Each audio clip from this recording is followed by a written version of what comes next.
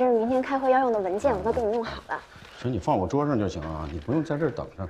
哎，您饿不饿？我们去食堂吃口东西吧。这个文件要有什么问题的话，吃饭的时候我就帮你改好。哎呀，不用不用，我晚上有剩饭，我回去热一下一吃就行。晚上我自己改了这个啊。那还有什么工作你吩咐吩咐我都行。哎呀，光棍啊，积极工作这个态度吧，我就是非常肯定啊，非常肯定你的工作态度。但这个这个神经不能绷得太紧了，这神经绷断了就不好了，是不是？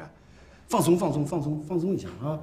然后不行的话，放几天假，我给你休批批几天假，然后就是该逛街逛街，然后该约会约会呗。我没有人要约会。哎呀，你这咱们咱们镇上那么多年轻人，你哎，你看你看这上面这个，那全是这很优秀男人。你比如说那那谁孙伟，那大高个儿啊，那那一表人才。张文博，文化站张文博上海大毕业的，那个是哎，那能写能画多好。那咱刘大楼没没上班，刘大楼。那是成熟稳重，那身边有那么多优秀的青年人，你们发现不了。你闹不闹不好，你就是，就错失良缘，你知道吧？这不是不好意思，这都不合适，没有我喜欢的。是，但是你不能说拒绝，你知道吧？但你得，你好好想一想，赶紧回回去。郭沫，我觉得你说的特别对。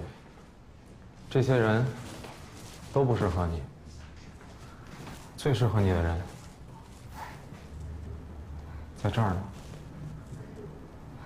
哎，波波，你听我说啊，我原来特别不理解为什么你那么崇拜贺镇长，现在我就明白了。他那双慧眼里面，一点都不揉沙子。从今天开始，他也是我的偶像。我跟你一样，我也崇拜他。他说的话特别对，他说我英俊潇洒、风流倜傥、风度翩翩、难得。最重要就是这个难得。对别人来说，我我确实难得，但是对你来说，我特别容易就得到了。还有别的事儿吗？那个，我把我妈微信拉黑了，跟我有什么关系啊？就因为我妈老给我介绍对象，一批又一批的，我都不喜欢，我根本看不上。就因为我，我心里面有人了。你心里那个人是我吧？你看出来了？我再看不出来，我就是个傻子了。我告诉你啊，咱俩不合适。你搞什么呀你？我告诉你，我就只能就你你别让我再见到你。就我这刚告白，就告别了。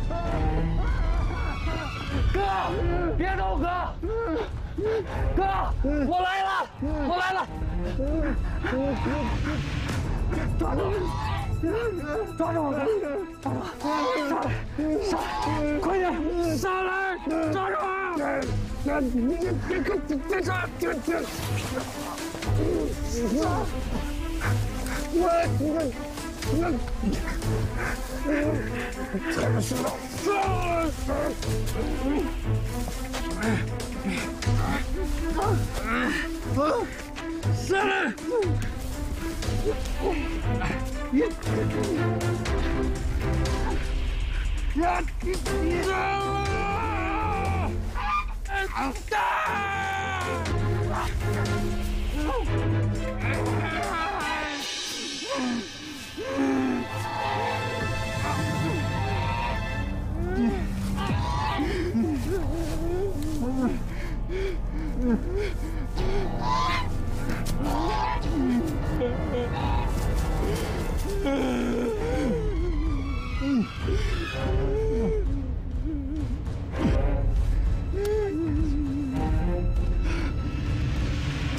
起，哥，我对不起你，我对不起。你原谅弟弟吧，不，别怪弟弟，下辈子，下辈子你还做我哥。啊你这，妈妈，干！哎哎哥，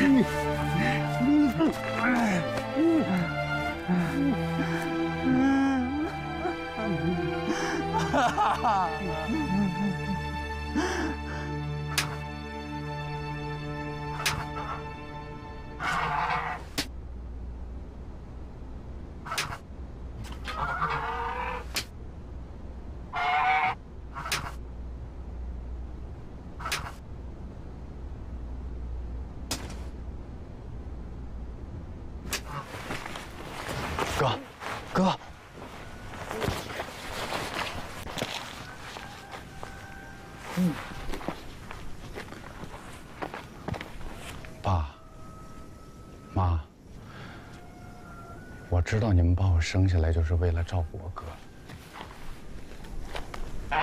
但是我必须要走了，对不起，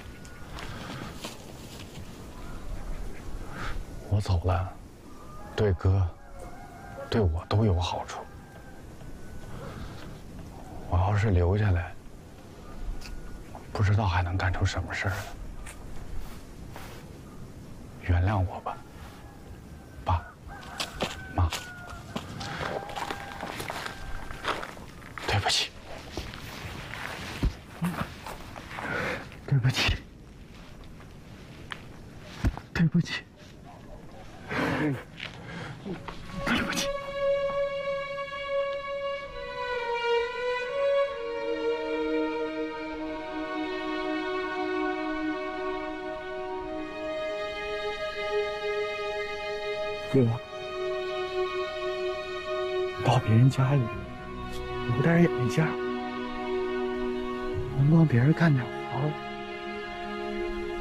别人干点活。你帮不上的，也别给人添乱，知道吗，哥？嗯嗯嗯。我在北京会常给你打电话，你要听话，知道吗？嗯嗯嗯。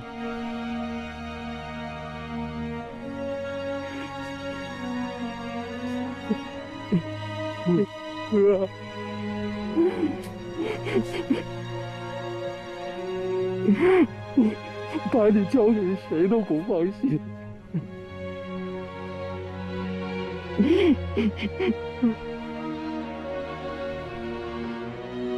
点点呢，九月份马上就要上小学了，而你将光荣的成为一名小学生的母亲。你跟我说说打算怎么办？那有什么大的，让他上学呀、哦，那些什么书包、文具什么的，不都准备齐了吗？你想的太简单了啊！家庭作业谁负责？课外读物谁监督？啊，这个家长会谁去？对吧？还有亲子活动呢？有的学校规定了，亲子活动必须父母双方都出席。你告诉我这些咱们怎么解决？这点点呀才上一年级啊，一年级学那些东西对他来说也太简单了吧？另外家长需要做的事儿，咱俩谁有空谁做不就行了吗？媳妇儿不是那么回事儿。现在时代变了，现在的学校可不像咱们那会儿啊。你看人谁家那孩子，上幼儿园的时候，一张嘴，一口流利的瑞士英语啊，特别纯正。咱们家演员啊啊，站着成熟都不会。你说这将来上了小学，这怎么办啊？这个？这点点就是点点，跟别人比干嘛呀？那你那样不比能行吗？六年之后上小学，对吧？六年之后小学毕业上初中，高中高中毕业还好，是吧？高考人哪能参加过我？对吧？你想太多了啊，有点太夸张了你。怎么能是我想太多？我夸张了啊？是你想的太简单，吴小豪，这个问题你必须要重视起来，对不对？未雨绸缪，未雨绸缪啊！这些准备都要做在前面，你做晚了，临时抱佛脚了都白搭没用，你明白吗？要不然你明天去趟医院吧。谁病了？你得焦虑症了。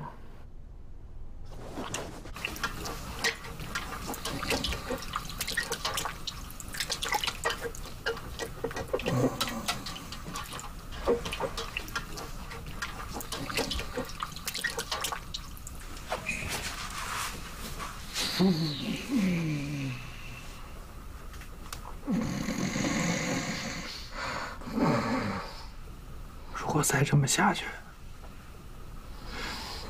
咱哥俩可真就一起被拖到坑里了。那我怎么跟咱爸咱妈交代呀？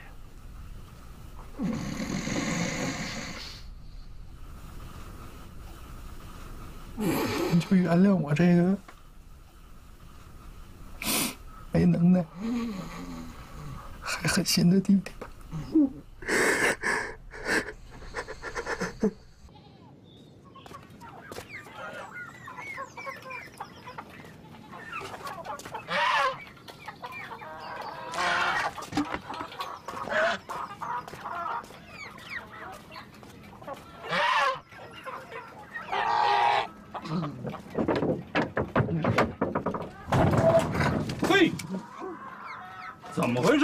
吓我一跳！你怎么在这儿睡觉啊？啊？嗯。哎哎哎，过来看看他来。哎，干什么呀？这是？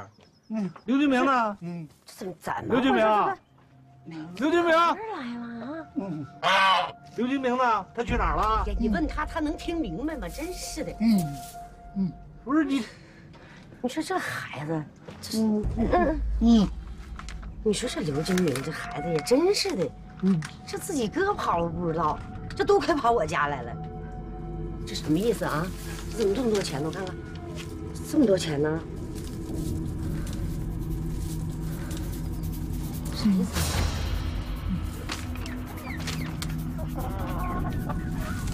嗯，我的天哪，这这怎么回事啊？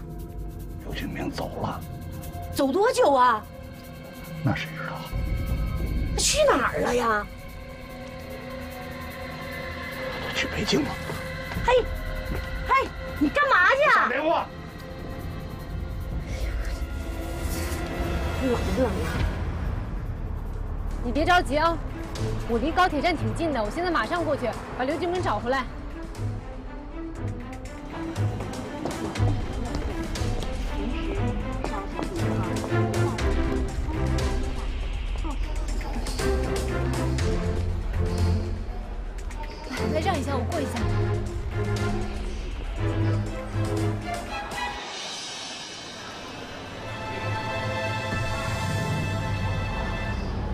刘金明，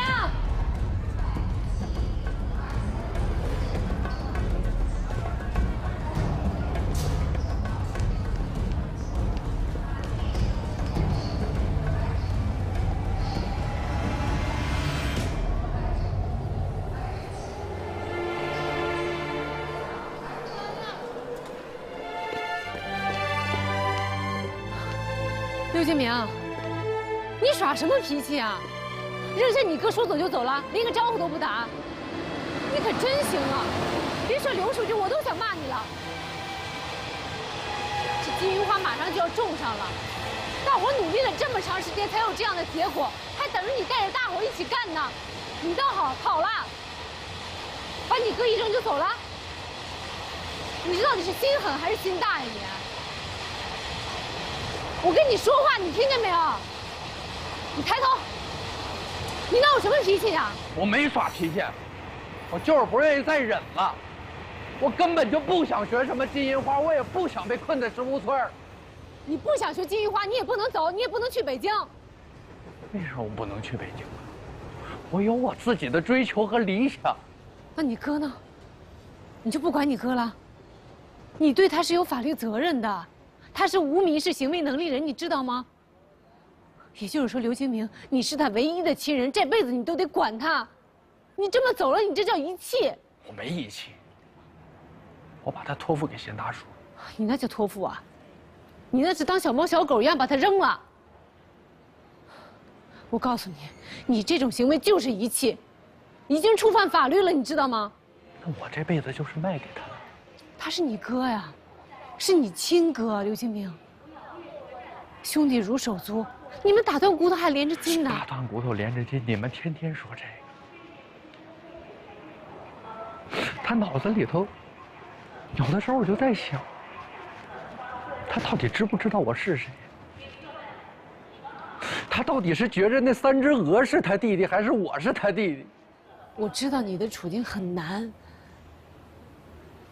我们也理解你，我也同情你，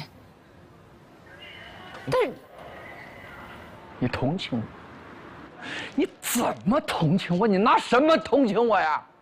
你们有一个算一个，天天道德绑架我。那别人心里有点什么苦，那回家至少有人能唠。我呢，我什么事都得往肚子里咽。我哥他脑子里到底有没有我这个弟弟，我都不知道。你知道我妈还在的时候，跟我说什么了？他说：“刘清明，我把你生下来，就是让你照顾哥哥的。我去北京这事儿，你别怪我。要怪你就怪我婶儿。要是那一年没有我婶儿替我照顾我哥，我都不知道我这一辈子还能做一回我自己。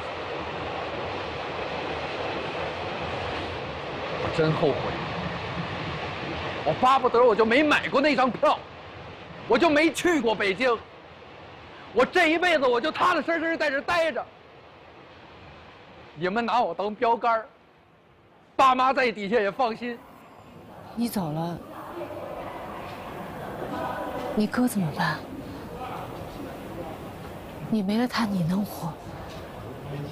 他没了你呢？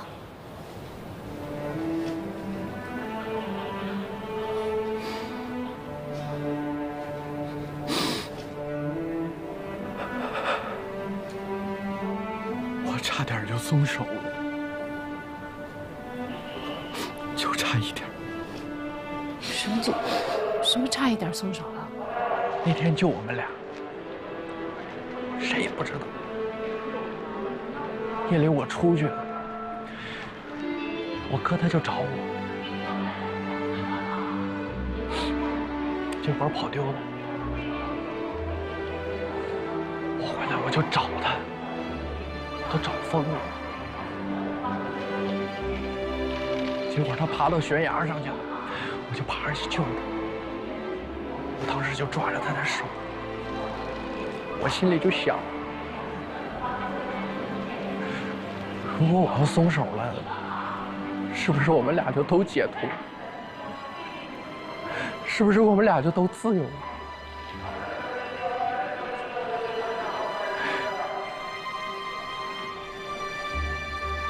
撒手的时候。他居然说话了，他喊了声妈。要不是他喊了这声妈，我估计他现在……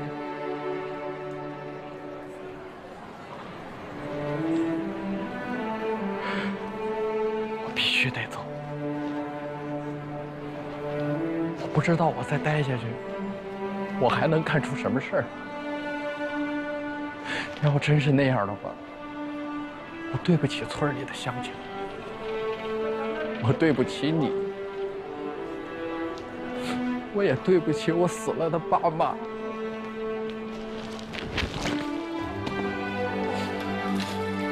去哪儿啊？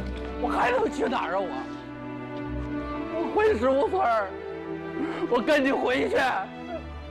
我就是十五村的一个小会计，我这一辈子就应该踏踏实实的，我就应该在这待着，我就应该扎在十五村儿。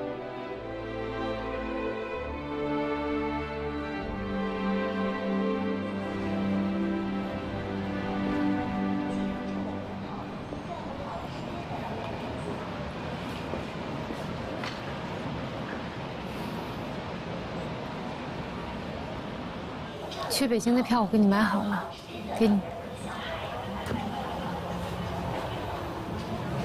您真让我走啊？既然你那么想去北京，那就去吧。你哥的事儿我帮你想办法。我干了这么混的事儿，给你添麻烦了，你别怪我。要怪呢，只能怪我对你了解还不够。自从我封管十屋村那天起，我就想着怎么让村富起来。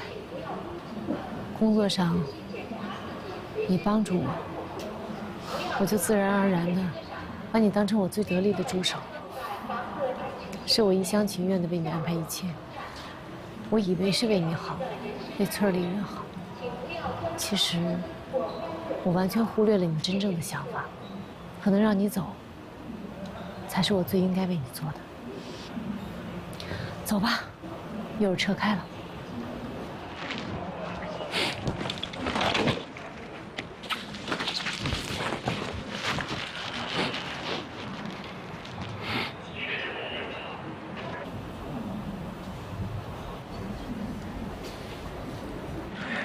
谢谢，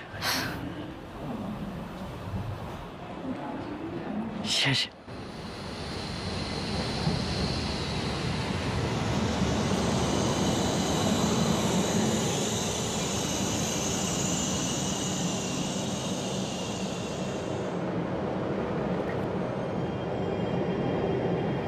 放走刘金明，我会后悔。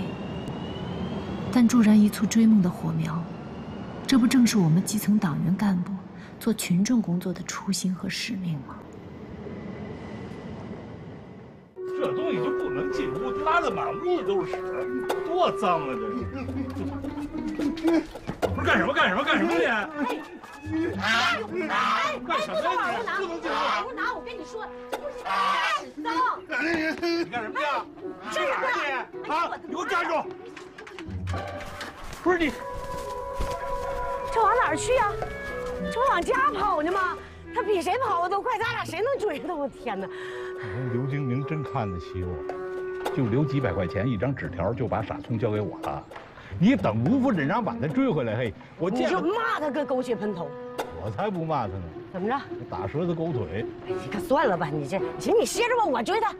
傻聪，傻聪啊，傻聪啊！走了？不是你不是都找着他了吗？你怎么能让他走了呢？不是我跟你说，你这个人啊，这慈母心用的就不是地方。你给你配上点，别动啊。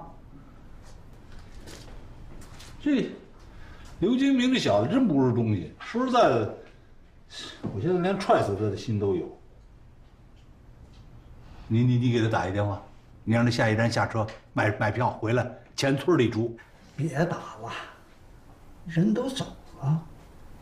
你要是一个电话能叫回来，他早晨就不走了。这精明啊，是我从小看着他长大的。老话说，穷人的孩子早当家。可是他有这么个傻哥哥，注定他一生下来都当家。咱们村的年轻人呐、都出去闯去了，唯独把这有能耐的困在家了。依我看呐、早晚他也留不住。您说的没错，这精明心里是有梦想的，这梦想没不了，只会越来越强烈，咱拦不住的，就算留住人，也留不住心呐。那你说现在怎么办？我就是想跟你们商量商量这傻聪的监护问题。我这边一点辙都没有。那他又不是一小猫小狗，他是一大活人，完了脑子还有问题。哎，村里都是七老八十的人，怎么监护他呀？啊，能把自己照顾好，不出事就不错了。谁家愿意扛这事儿啊？你别动啊！我倒是有这心，可是你看我这把老骨头，再加一傻葱，行，您这跟没说一样。来的时候呢，我也想这个问题了，要不然，咱们专门请个人照顾他呢。上哪儿请去？我们村没这人。那钱谁出啊？这费用我个人可以先垫上，回头我到镇上找相关部门问问，就傻聪这种情况有没有可能通过政策领些补助？刘书记，你就帮忙先找个合适的人照顾他。我跟你说了吗？我们村肯定没有，要找也得外边找去。就是啊，从这种情况啊，谁愿意来呀？你就是给人家钱来了，冲着钱来的，能照顾得好吗？咱们能放心的把傻聪交给他吗？我知道这事儿挺难的，可是总得想想办法吧。我都答应金明了，说我们肯定会把他哥照顾好。你等会儿，什么叫我们能把他哥照顾好？是你答应他了，不是我们答应他了，知道吗？我说句不好听的话，你这叫站着说话不腰疼。哎，你说，假如现在把傻聪搁到你家去，你乐意吗？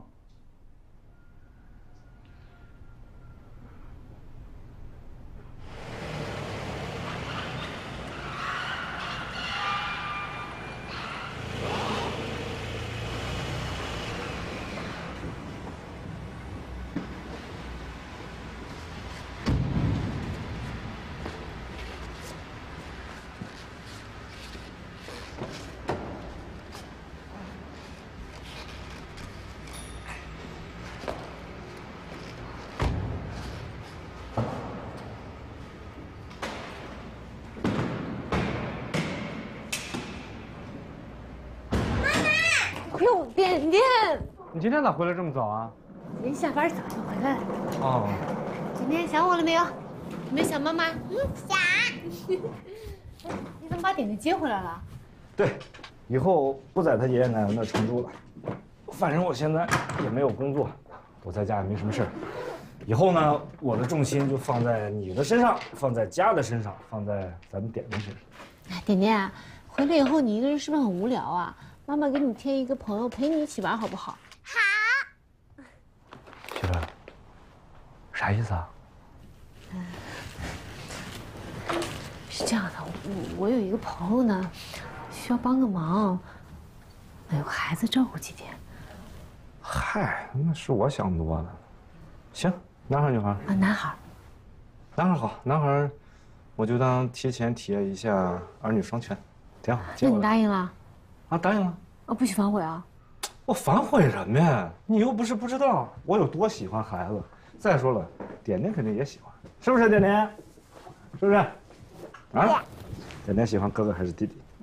哥哥。哥哥，你看点点都说喜欢哥哥。过两天接过来吧，我没问题。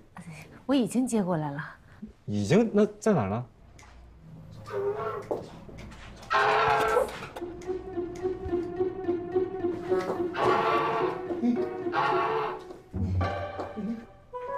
点点点，叫聪明哥哥。哥哥，对，叫哥哥，叫聪明哥哥。聪明哥哥。他是石屋村的，他弟弟呢去北京打工了，没人照顾他，那我就照顾几天。你放心，他人很好的，呃，很懂事，有有礼貌，还爱干净。妈妈，这个哥哥怎么头发有点白啊？大家坐好啊，不动。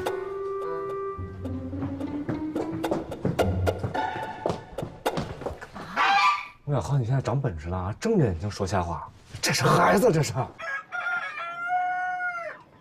你说这吴小豪把傻聪接走的时候，你也没表个态，这我把他得罪了吗？瞎叨叨什么呀？得罪就得罪了呗。不把他接走，留在这儿，你看着他。我看得着吗？又不是我儿子，你听不出好赖话啊？我怕你穿小鞋嘛。穿早穿了，等不到现在。要真跑领导那告你一状，你吃不了兜着走，真把你撸下来也说不定。说敢，我在这村多少年了，撸我。再说了，这石屋村最优秀的接班人是他放走的，撸也得先撸他呀。那个傻聪也不是我非得让他弄走的，他自己愿意。但是你放心，傻聪在他那儿待不了几天就。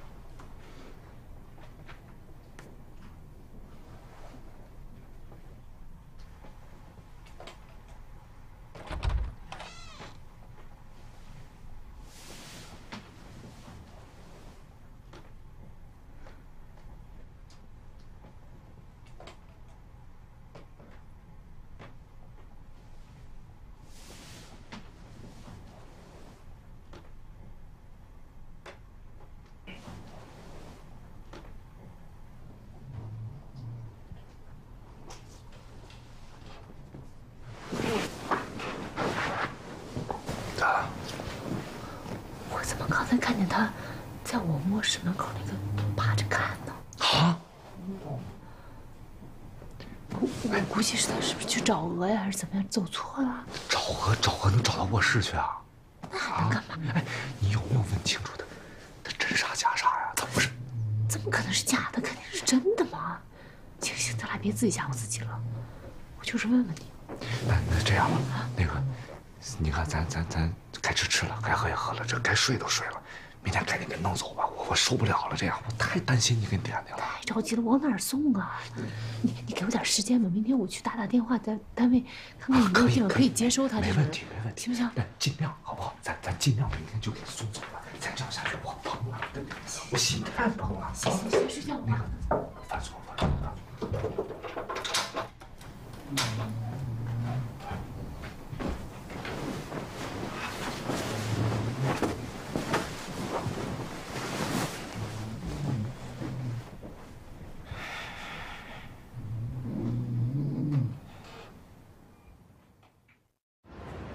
昨天啊，我跟这个刘建设总经理，还有穆平川书记开了一个三方会议，啊，针对种植金银花，我们做了一个具体的协商。刘建设总经理啊，非常热情，也很真诚，他特意给我们准备了三年的苗啊，来保证存活率，啊，这个。穆培川书记啊，就针对这个土地规划，他也表了态，他说，全权交给药厂来建设安排，可见他这个真是给予了最大的支持，啊，老穆这事儿做得漂亮。下面啊，我们就说说这个石屋村具体的情况。这石屋村啊，到底有没有能力？来接受种苗，这些种植计划能不能具体实施？我们还请，还请，我们还是请吴小蒿，吴吴副镇长。嗯，周书记问你话呢。哦，周书记，你刚刚说说说说的哪？哦，我就说，呃，咱们石屋村这个种植金银花的条件啊。啊，到底允不允许？各个方面都什么情况啊？你准备好了没有？那个，不好意思，我这两天可能是睡眠不太足，我出去缓缓，我稍微缓一下，我精神一下就进去了。行行行。民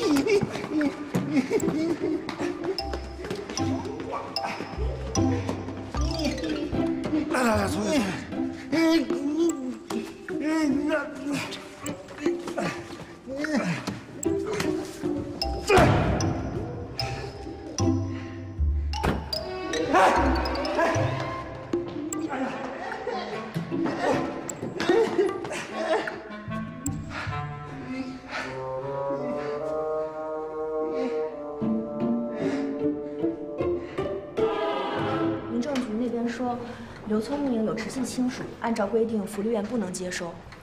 我也解释了他的情况，他虽然有一个亲弟弟，但是一直在北京打工，但是规定就是规定。如果实在没有人管刘聪明的话，民政局可以临时的托管几天。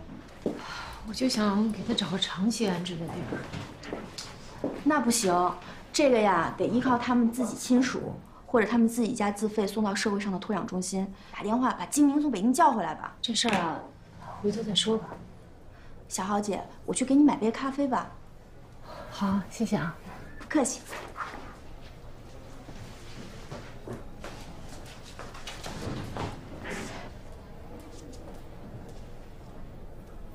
副镇长，你不是托我给你打听那个托养中心的事吗？这是我的一个朋友，有事你跟他联系。谢谢啊。哎，不客气。春分秋夸夏打盹儿啊。喂，你好。啊，请问是托养中心吗？我想是不是让那个计生办那个王主任去问问他，是不是有啥情况啊？你还真学会细心了你。那我不细心怎么整？你老让我去关心。但是虽然你是书记一把手，那我也得批评你啊，你也得多关心关心下属的。呃，我是得关心我们身边的这些同事啊，无论是工作上、生活上，都要学习贺镇长。那学我干什么？不能光关心，你还想办法。哎哎，你还别说，你嫂子前些年啊，整夜睡不着觉。嗯嗯。他们同事给介绍老中医，哎，调理几副药之后，还真是效果特别好。那行啊，你你就，哎，我把我把微信到时候推给吴行了行了行了。要不然晚上咱不做饭，出去吃吧。哦，我马上回去了，先这样啊。镇长有事啊？啊，对，没事，就是周书记啊，给你介绍的那个老中医，说治疗失眠是很厉害的一个。嗯。不好意思啊，我今天开会的时候确实有点困啊啊。我明天多喝点咖啡。啊，不是你你你不能光靠喝咖啡是不顶事儿的那个，你你白天你要喝了，你你晚上怎么弄啊？啊，晚上更更难受，更睡不着了。我跟那个老周商量了一下，说给你半天假，你去找那大夫看一看。啊，不用不用，也不是什么大事儿，不用请假。不不，你身身体健康那这无小事儿啊，睡眠问题才是头等大事儿，真不能大意。你这身体亮红灯了，那就不好啊。有的时候就是这样的，清官难断家务事。没吵架吧？我没有，挺好的。吵了也没事儿，夫妻之间哪有不吵架的？真没有。我可能就前一阵儿的工作压力有点大吧。哦，季节性失眠。那好，没事就最好了。那我先走了。好好，你你你啊，你忙。好。季节性失眠。哎，你好，欢迎光临。哎，姐里面请。有预约吗？呃，没有，没有是吧？哎，里面请，慢点。Hello，小朋友。嗯。哎，等一下，先生，等一下，先生。先生。哎，女士是这样子的哈，这个大鹅直接放到后厨就可以了。啊，这是我们自己带来的。啊，我知道是你自己带来的。我们饭店里面啊，这个海鲜、大鹅全都可以加工的，红烧、清蒸都可以。但是，但是沙鹅比较费时间，所以说得等一会儿。您误会了，这是我们的宠物，不是拿来吃的。这个那更不应该进去，因为我们店里面有规定，就宠物禁止入内。那个哥们儿，叔叔，大白很听话的。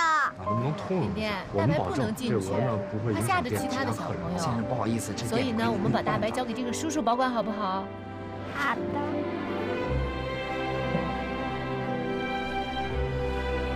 给您吃。爸爸为什么不进来啊？他不是得在外面帮你看着你的好朋友吗？爸爸再不进来吃。哥哥都把爸爸的饭都吃完了。嗯。慢点。你赶紧进去吧，我来看看。哎，别生气了啊，赶紧进去吃饭。小松什么时候走？我问了相关的福利机构，他的情况比较特殊，都不接收。只有社会那种寄养中心，但是都是收费的，太贵了。一只鹅寄养一下都这么困难，你何况一个大活人呢？是不是？什么意思？支书？意思就是再给我点时间，让他在咱家再住两天。行啊，没问题。但是有一点啊，我不管他了。以后你在家，他在家，你出门，他跟你一块出门。我明天得上班了，上班带他一块去啊。镇政府那么多叔叔阿姨呢，大家一块耍的挺好玩的。那怎么行啊？怎么不行啊？单位的人不知道我把他带到家里来了，而且那是工作单位，我这边工作，他在旁边闹着像什么话？别人看见了也不好，是不是？那不对啊，吴小浩，这是大好事，得得告诉他们，让你们领导，这个镇政府的同事都得知道知道，搞不好呢还要开展一个活动啊，向吴小豪同志学习，这样大家就轮流着把傻松接到自己家里去，对不对？住一段时间也不着急不着慌，体验体验生活呗。